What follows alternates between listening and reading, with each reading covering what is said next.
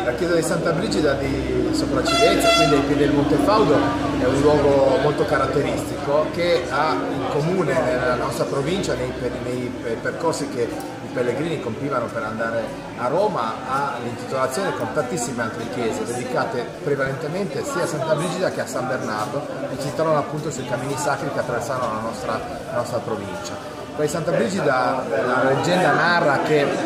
era stata eh, sorta su una roccia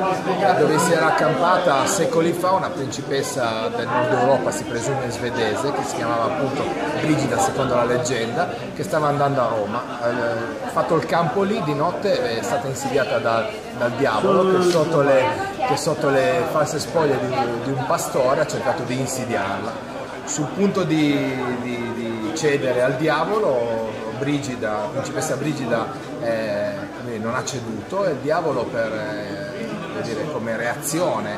al, al, suo rifiuto ha dato una zampata sulla roccia, tanto che si dice che la roccia su cui è, è stata costruita la chiesa di Santa Brigida riporta ancora il segno delle unghie del, del diavolo. È una leggenda popolare ma che trasmette valori molto lontani dalla nostra terra, valori in cui eh, leggende in cui e tradizioni in cui si, si viaggi del, dei pellegrini verso Roma passavano attraverso quello che è adesso il sentiero Liguria e la via della costa.